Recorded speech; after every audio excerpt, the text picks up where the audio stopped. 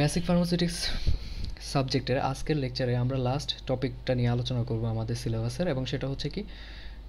Polymorphism polymorphism জিনিসটা কি? যখন কোনো একটা সাবস্টেন্স একাধিক ক্রিস্টালাইন স্ট্রাকচার ফর্মে প্রেজেন্ট থাকতে পারে, তখন তাকে আমরা বলি হচ্ছে কি পলিমরফিজম এবং প্রত্যেকটা ক্রিস্টালাইন ফর্মকে আমরা বলি হচ্ছে কি এক একটা পলিমর্ফ এবং এই পলিমর্ফগুলোকে আমরা কি করি? রোমান যে নাম্বার আছে ওয়ান টু থ্রি ফোর এইভাবে আমরা কি করি? তাদেরকে নাম্বারিং করি বেসড অন দেয়ার কি? স্টেবিলিটি ফর্ম ওয়ান যেটা থাকে, তার মানে যার নাম্বার ওয়ান থাকে, সে হচ্ছে কি? সবচেয়ে বেশি স্টেবল অ্যাট রুম টেম্পারেচার এবং সেটা হচ্ছে কি? মেল্টিং পয়েন্ট অনেক বেশি সবচেয়ে বেশি হবে এবং সেটা হচ্ছে কি? সলিবিলিটি অনেক কম শো করবে।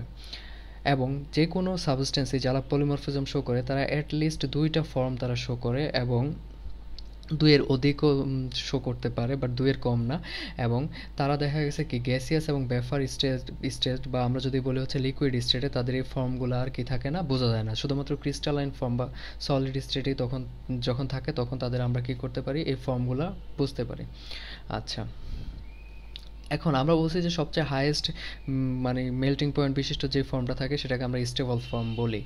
এই স্টেবল ফর্ম বাদে বাকি যে ফর্মগুলো থাকে, তার মানে হচ্ছে যারা কম স্টেবল তাদেরকে আমরা বলি হচ্ছে মেটা স্টেবল ফর্ম এবং কোনো একটা পলিমর্ফ মেটা স্টেবল থেকে কিসে পরিণত হতে পারে? স্টেবল ফর্মে কনভার্টেড হতে পারে। এবং এই পলিমর্ফগুলার নিজেদের মধ্যে ফিজিক্যাল এবং কেমিক্যাল প্রপার্টিজের পার্থক্য থাকতে পারে। যেমন হচ্ছে তাদের একটার সাথে আরেকটার solubility melting point density crystal shape optical এবং ইলেকট্রিক্যাল যে প্রপার্টিজ আছে, সেগুলো ডিফারেন্ট হতে পারে, এক একটা ফর্ম থেকে আরেকটা ফর্মে এবং প্রি ফর্মুলেশন স্টাডিজ যখন আমরা করব কোনো একটা পলিমর্ফের ক্ষেত্রে, তখন আমরা কি কি দেখি আসলে? যে কোনো একটা সাবস্টেন্সের কতগুলো পলিমর্ফ আছে, তার মানে হচ্ছে কোনো একটা সাবস্টেন্স কতগুলো পলিমরফিজম শো করতেছে এবং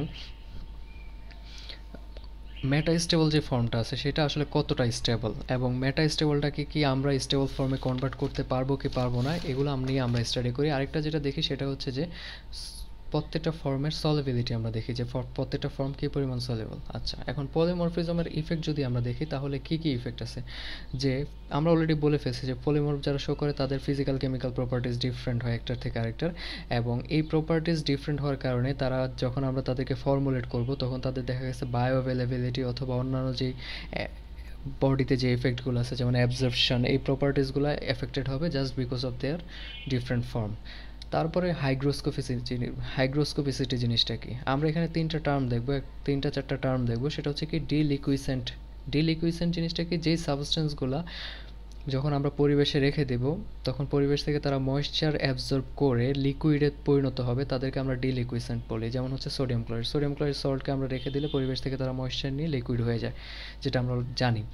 তারপরে যে টার্মটা আছে সেটা হচ্ছে এফ্লোরেসেন্ট এফ্লোরেসেন্ট মানে হচ্ছে যারা হচ্ছে কি করবে, তাদের নিজেদের মধ্য থেকে ময়েশ্চার পরি প্রকৃতিতে ছেড়ে দিবে এবং তারা অ্যানহাইড্রাস ফর্মে পরিণত হবে। তার মানে হচ্ছে নিজেদের ভিতর থেকে লিকুইড তারা পরিবেশে ছেড়ে দেয় এবং অ্যানহাইড্রাস ফর্মে পরিণত হয়, তাদেরকে আমরা বলে হচ্ছে এফ্লোরেসেন্ট ফার্মাসিউটিক্যাল প্রোডাক্টগুলো বা আমরা দুই ধরনের হতে পারে, একটা হচ্ছে কি নন হাইগ্রোস্কোপিক আর একটা হচ্ছে হাইগ্রোস্কোপিক নন হাইগ্রোস্কোপিক জিনিসটা কি, যারা হচ্ছে পরিবেশের যে ময়েশ্চার আছে, তার সাথে কোনো ধরনের রিয়াকশনে যায় না বা কোনো ধরনের ময়েশ্চার দ্বারা, পরিবেশের ময়েশ্চার দ্বারা এফেক্টেড হয় না। সেই ধরনের সাবস্টেন্সগুলোকে আমরা বলি হচ্ছে নন হাইগ্রোস্কোপিক সাবস্টেন্স আর হাইগ্রোস্কোপিক সাবস্টেন্স হচ্ছে যারা পরিবেশ থেকে কী করবে? ময়েশ্চার নিয়ে তারা লিকুইডে পরিণত হবে। তাদেরকে আমরা বলি হচ্ছে কি হাইগ্রোস্কোপিক সাবস্টেন্স এবং এই হাইগ্রোস্কোপিক সাবস্টেন্সগুলো হচ্ছে কি তাদের, তারা যেহেতু পরিবেশ থেকে কী করতে পারে? ময়েশ্চার নিতে পারে। দ্যাটস ওয়াই তাদের ফ্লো প্রপার্টি কেমিক্যাল তাদের স্টেবিলিটি এই জিনিসগুলো কী হইতে পারে? এফেক্টেড হইতে পারে। কমার্শিয়ালি যখন ফার্মাসিউটিক্যাল প্রোডাক্টের আমরা শেলফ লাইফ দিই নর্মালি আমরা তিন বছর অ্যাটলিস্ট শেলফ লাইফ দেওয়ার চেষ্টা করি। এবং এই তিন বছর যখন আমরা শেলফ লাইফ বলি, যে একটা সাবস্টেন্সের শেলফ লাইফ হচ্ছে তিন বছর, তার মানে হচ্ছে তিন বছরের মধ্যে তার পোটেন্সি নাইনটি ফাইভ পার্সেন্ট পর্যন্ত কী থাকবে? ইনট্যাক্ট থাকবে। তার মানে হচ্ছে তার হান্ড্রেড পার্সেন্ট পটেন্সি থেকে ফাইভ পার্সেন্ট পটেন্সি লুজ হইতে পারবে এই তিন বছরের মধ্যে। এর নাইনটি ফাইভের নিচে চলে আসলেই আমরা বলব যে তার শেলফ লাইফ চলে গেছে। এবং তার লুক এবং তার যেই এফেক্ট আছে, সেগুলো মোটামুটি ফার্স্ট টাইম তার যেরকম ছিল, সেরকমই থাকতে হবে। এবং এই যে শেলফ লাইফ ডিটারমাইন করার জন্য বিভিন্ন স্ট্রেসড কন্ডিশন অ্যাপ্লাই করা হয়। তার মানে হচ্ছে নর্মাল টেম্পারেচার অ্যাপ্লাই করা হয় না, অনেক বেশি টেম্পারেচার অ্যাপ্লাই করা হয়, অনেক বেশি বেশি প্রেশার অনেক বেশি লাইট অনেক বেশি পিএস অ্যাপ্লাই করে তারপর টেস্ট করা হয় যে শেলফ লাইফ কত হবে। সো সলিডের ক্ষেত্রে যেই ধরনের স্ট্রেস কন্ডিশনগুলো দেওয়া হয়, যেমন হচ্ছে হিট অ্যাপ্লাই করা হয়, অনেক বেশি হিট তারপর হচ্ছে ময়েশ্চার আপটেক কতটুকু সে করতে পারবে, এবং হচ্ছে ফিজিক্যাল স্ট্রেস যেমন হচ্ছে তাকে প্রেশার দিয়ে দেখা হয় যে সে কতটুকু প্রেশার নিতে পারবে, বা ফিজিক্যালি অন্যান্য ধরনের টেস্ট করা হয় সলিডের ক্ষেত্রে। আর অ্যাকোয়া সলিউশনের ক্ষেত্রে তাদের পিএস বিভিন্ন পিএসে তাদেরকে টেস্ট করা হয় লাইট বিভিন্ন লাইটের ইন্টেন্সিটিতে তাদের টেস্ট করা হয়, এবং হচ্ছে তাদের অক্সিজেনের সাথে রিয়াক্ট করে অক্সিডেশন হবে কিনা, এই ধরনের প্যারামিটারগুলো চেক করা হয়।